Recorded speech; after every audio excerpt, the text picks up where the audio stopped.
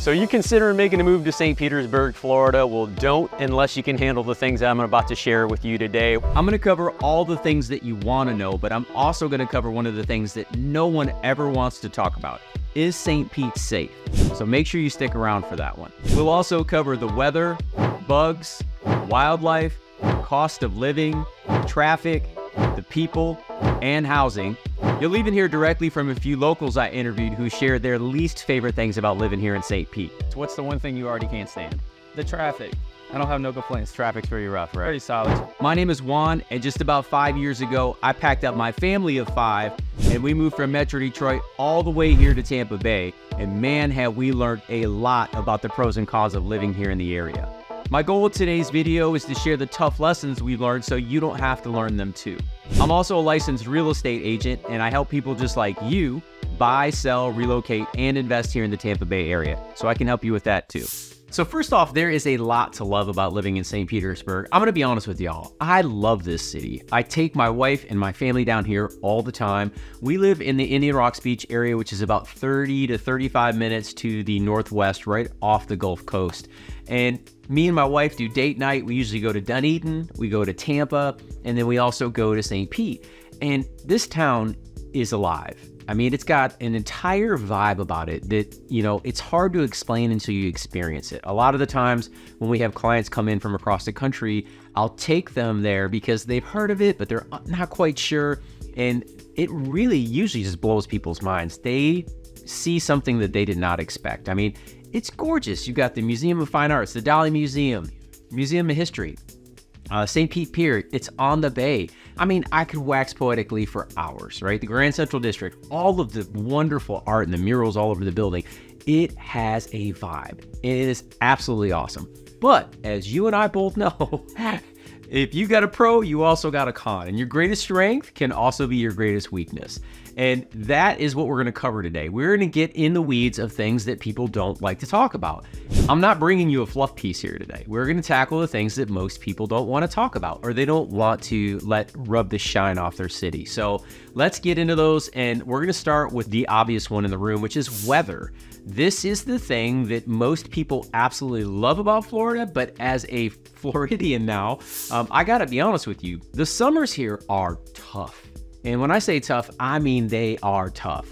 From July, August, September, our average temperatures are over 90 degrees every single day. You may live in an area where you've experienced that before. Let me give you a little bit of the subtlety here, okay? I've lived in Michigan my entire life for the most part. I was born in California, but we lived in Michigan my entire life. We experienced temperatures in the in the mid 90s, even high 90s. But the one point of difference between that and those temperatures there and here is there is never any relief. I mean, in the peak of the summer here, it can literally be 80 to 83 degrees in the middle of the night. So you don't ever get away from that. And there's this the city is full of concrete, which the sun bakes on all day long, cooks those temperatures, and concrete is really good at holding that that heat in and letting it go at night. So like it just doesn't let up. And with the really high humidity in the summer, you add those two things together, it can be very, very difficult on people. So I understand that. We tend to take our vacations during that time of the year. I would encourage you to do that as well. You know, on top of that, this is hurricane season. Now, the one thing I will say is the Tampa Bay area and St. Pete have been absolutely blessed. We have not had a direct hurricane strike of a Cat 3 or higher since 1921. I mean, that's going back quite a ways. Exactly 100 years ago today that the last major hurricane hit the Tampa Bay area. This was 1921 when a storm so strong struck Tarpon Springs. Lord willing, we'll continue for another 100 years. I don't play a weatherman, so I'm not going to pretend to understand all the things about it. The locals say it's because of the Indians. I don't know why, but we have been very fortunate here in Tampa Bay, which is very strange because when you look at the map, and you look all the way to the west coast, west central Florida, you see that we stick out the furthest of anyone up until you get back in the panhandle. And for whatever reason, we have been very fortunate. We had a serious scare last year with Ian, but that slid to the south, so we've been very fortunate in that respect. So these are some things that you're gonna have to deal with that you may not necessarily love. Now, the advantage of this, and people ask me all the time, they say, Juan, what is the biggest difference between living in the north and living in Florida when it comes to weather. And I tell everybody the same exact thing you do not have to shovel sunshine. So the next thing on our list we're gonna get to is the creepy crawlies, the bugs and the wildlife. And this was an eye opener for me. Being an ignorant northerner, I had no idea of the things that I was gonna encounter here. And boy, did I get an education.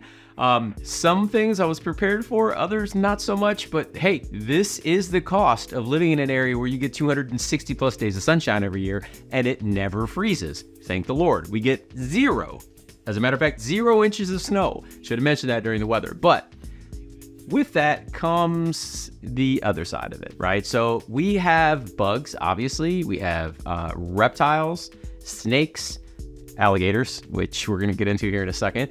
Birds uh, that are different than you're probably used to seeing where you're at. They might not be, but I, I need to fill you in on this stuff. So, you know, the mosquitoes. Everyone is always asking about the mosquitoes for good reasons. Probably because you have an uncle or an aunt who told you that um, if you move to Florida, the mosquitoes are terrible, you're going to be eaten alive, which could be true.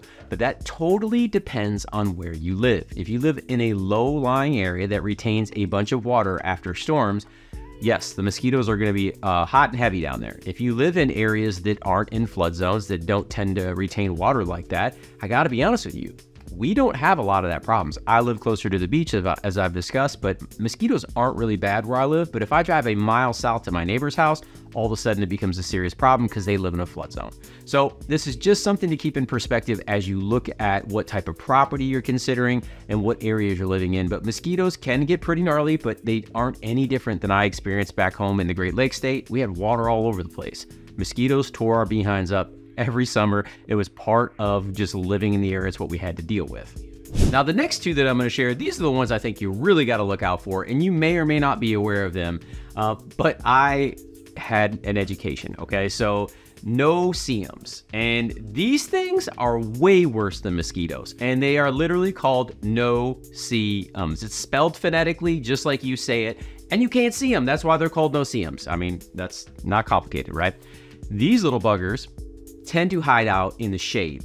When you go to a park in the middle of the summer and you find a nice shaded area because it's 10 degrees cool over there and you can't wait to get over there and it's moist at all, I'm telling you right now, you will not see them and your butt is going to get chewed up. They can tear you up. Now, this isn't at every single park, not every place, but the no-see-ums are for real.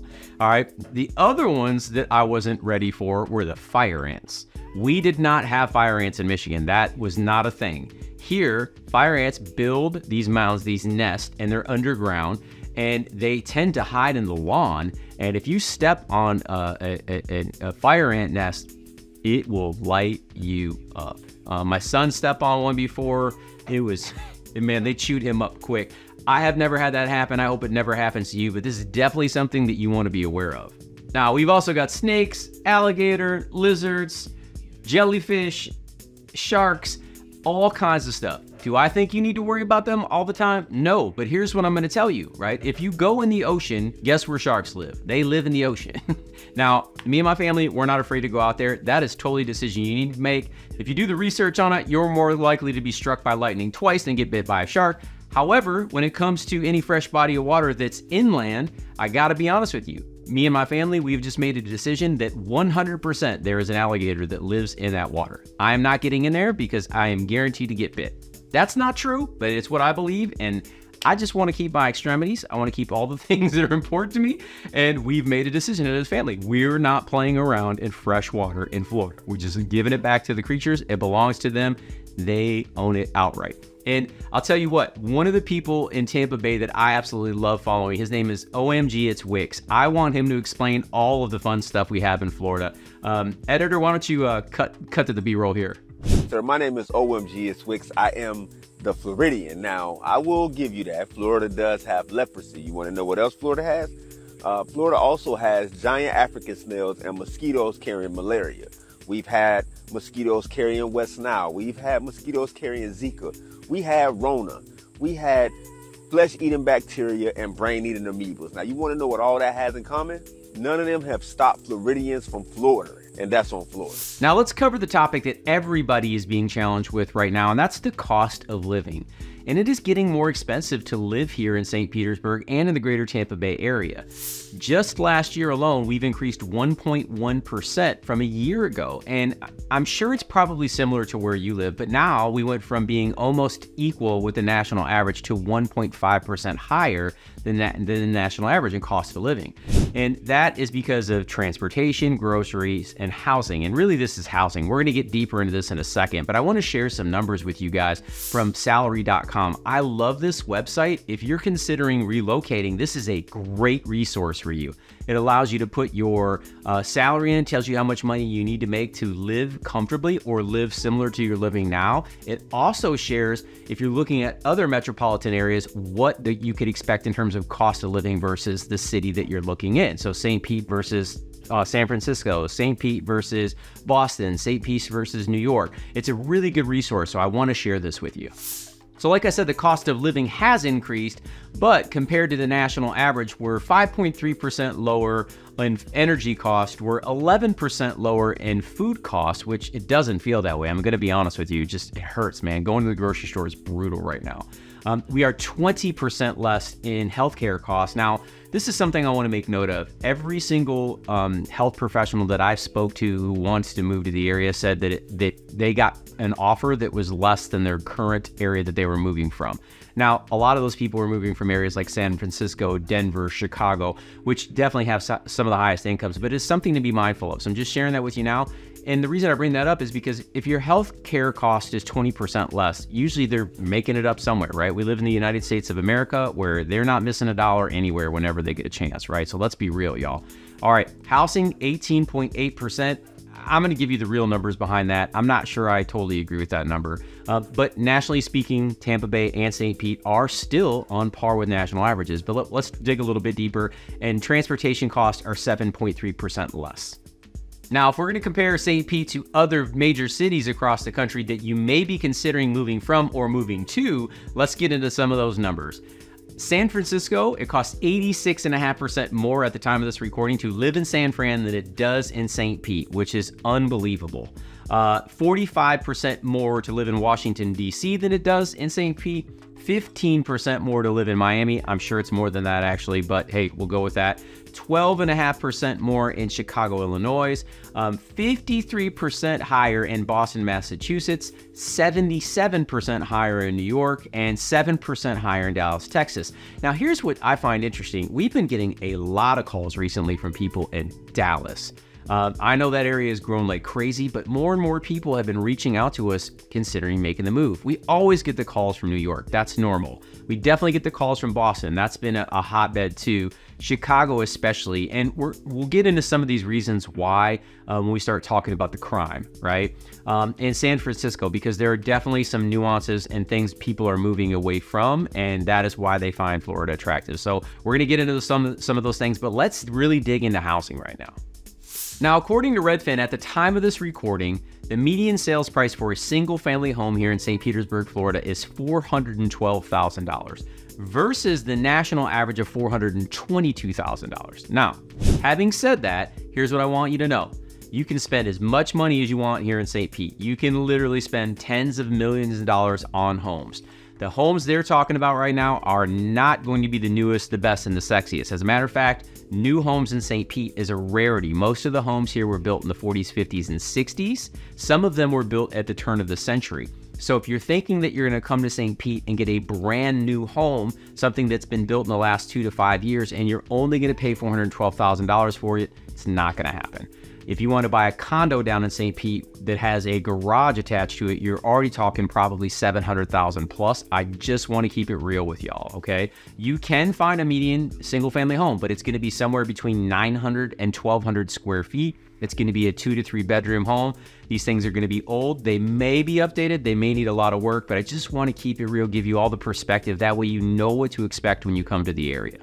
And if you are considering making a move to St. Pete or the Tampa Bay area, feel free to reach out. All of my contact information is listed down below. Me and my team would love to have a conversation with you so we can help you make the best decision for you.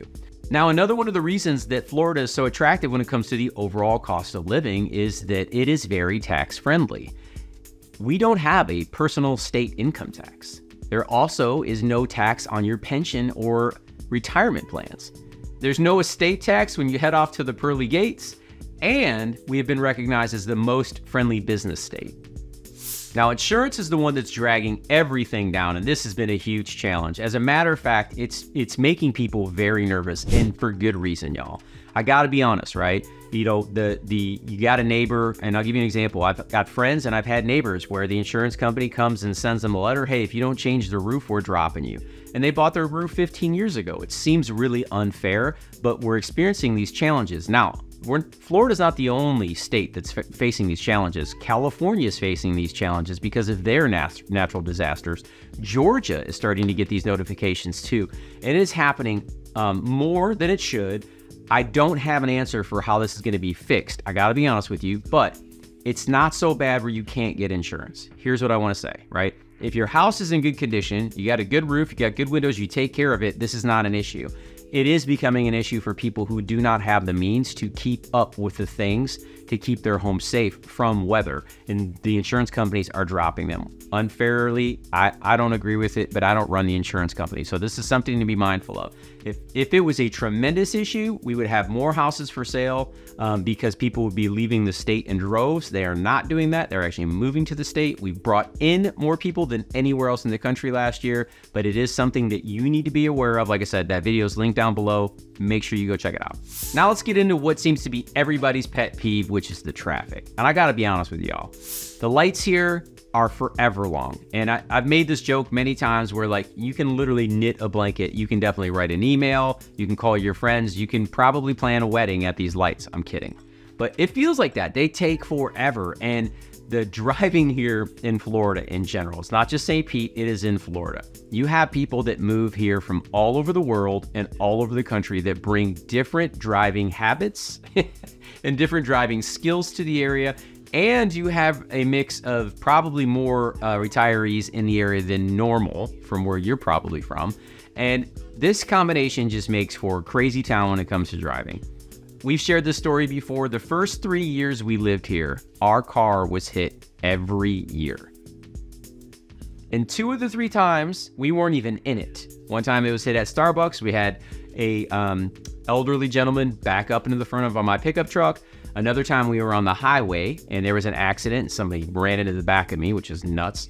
And then the third time, somebody tried to pass a bus on Central Avenue in St. Pete and ran into our car and two others real life. Okay. Last year we made it through unscathed. Woo, that was exciting, but I'm just keeping it real, y'all. I'm telling you right now, when you come down here to Florida, you got to keep your head on a swivel because it's like it's like a video game out here. It's like Frogger when you're driving.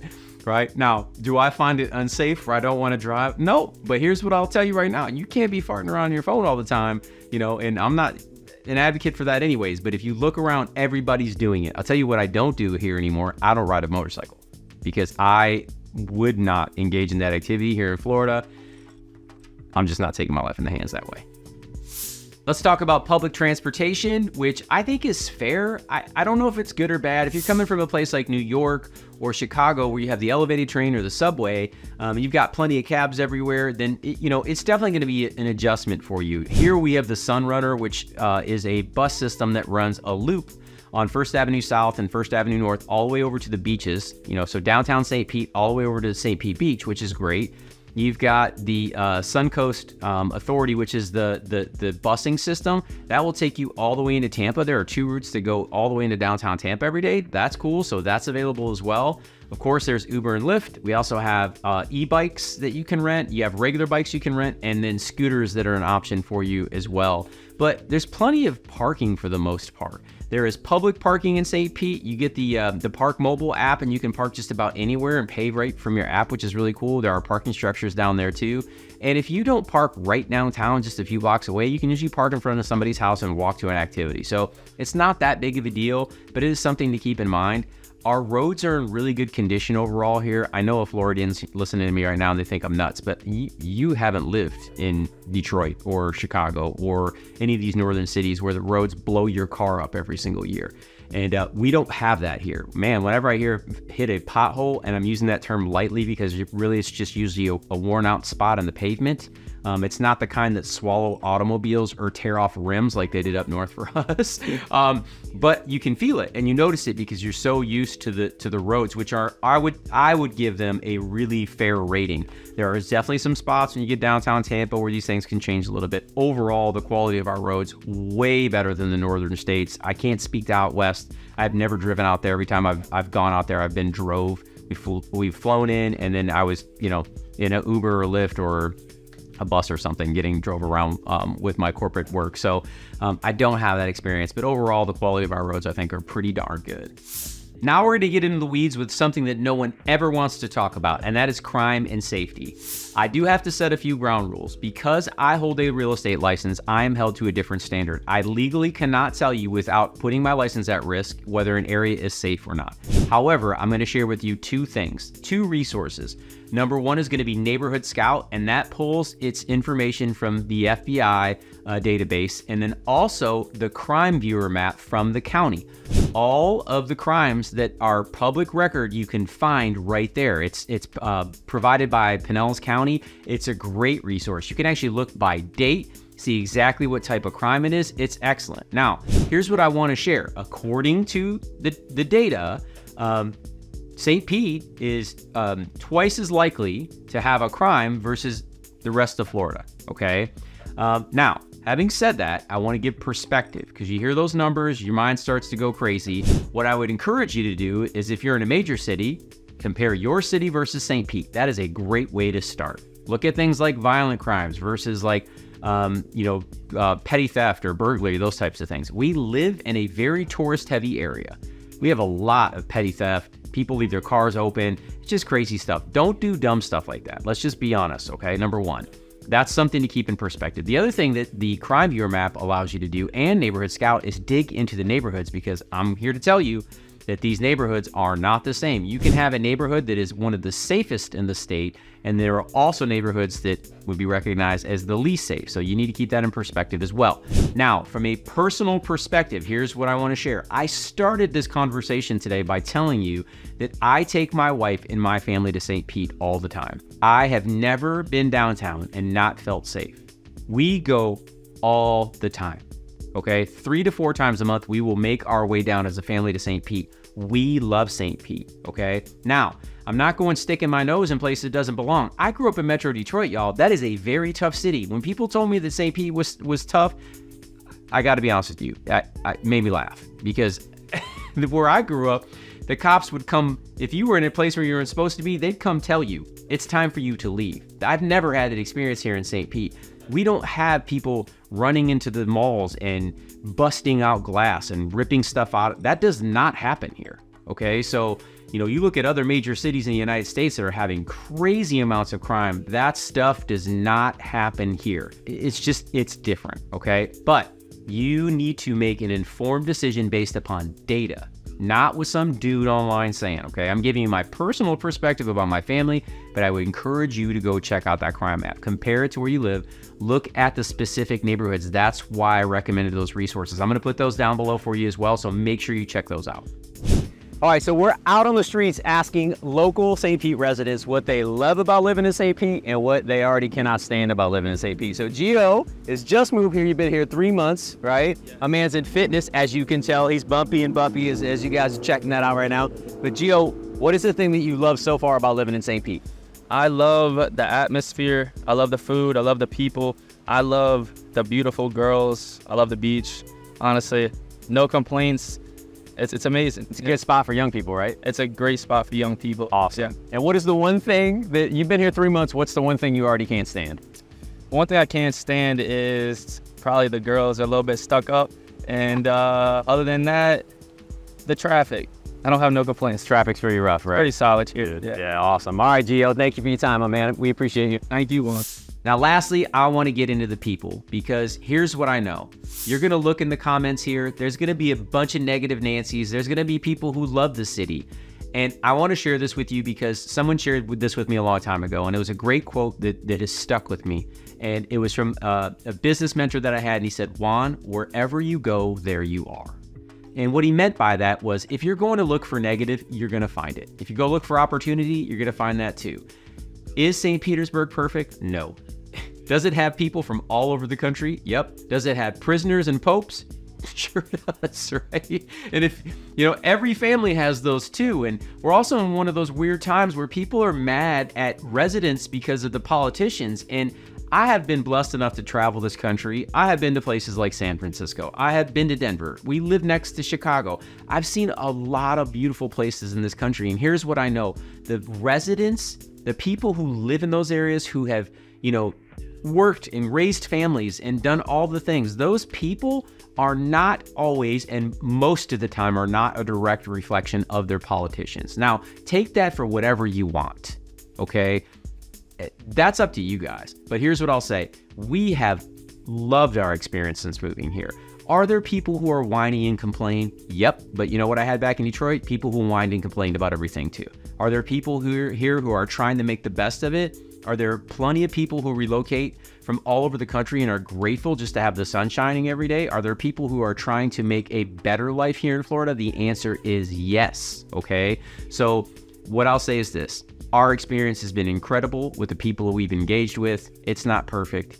We've shared some of the things that aren't great with you today. If you have any further questions, do not hesitate to reach out to me and my team. All of my contact information is listed down below. I hope you got value. If you know anybody who's considering making the move down here, feel free to share this video with them. I'm sure it's going to be helpful. Um, I am grateful for the opportunity to share with you guys. I'm going to put a couple videos up here that I think make sense um, that you can check out next that'll really kind of help you solidify your decision. Until next time, go out and live that Tampa life.